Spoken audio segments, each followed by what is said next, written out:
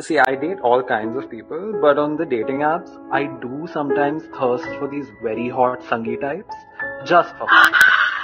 you know, just for like the opposite of paper bag sex. Like if I could cover the.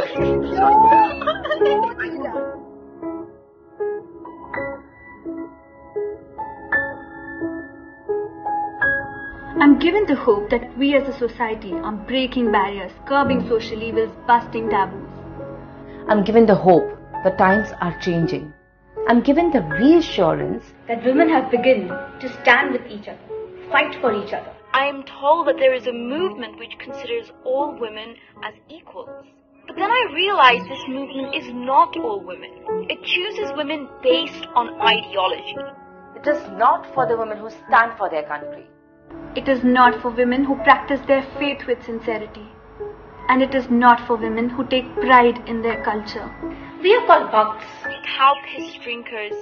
Jingoists. Hate against us is mainstreamed and normalized to the extent that violence against us is justified by the very feminists of the left.